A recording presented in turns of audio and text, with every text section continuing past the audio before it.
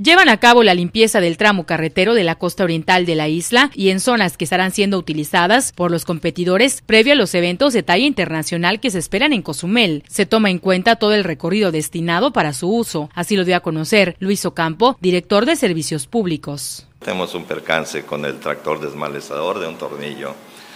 Más sin embargo, hemos eh, empezado los trabajos desde Mezcalitos hasta ahorita hemos llegado hasta el rancho Buenavista quedaría pendiente del Buenavista hasta el tramo de, de lo que es el restaurante Rastas, lo cual pensamos que en el transcurso de esta semana poder continuar con los trabajos. Tenemos eh, la ruta, lo que va a ser el, el, full Ironman, ¿verdad?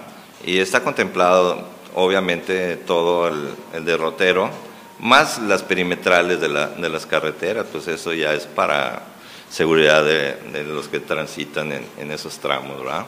Comentó, con la realización de varios eventos deportivos a lo largo del año, se toman precauciones también en la avenida Rafael Emelgar. Desde el, medio Ironman y luego vinieron el Astrid y las otras, ahí viene el, Gran Fondo de Nueva York también. Entonces estamos desde, desde siempre preparados.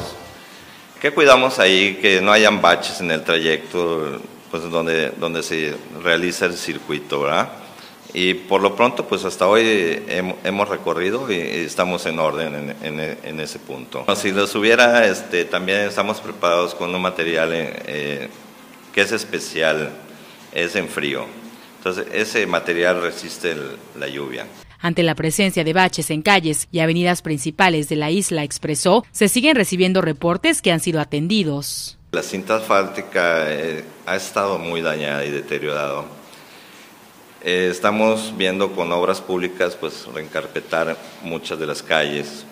Eh, pues los baches eh, en sí, sí tenemos alrededor de la mancha urbana y dentro de las colonias, los cuales lo estamos atendiendo. Tenemos tres brigadas para ello. Y diario nos abocamos siempre que el tiempo, el clima lo permita.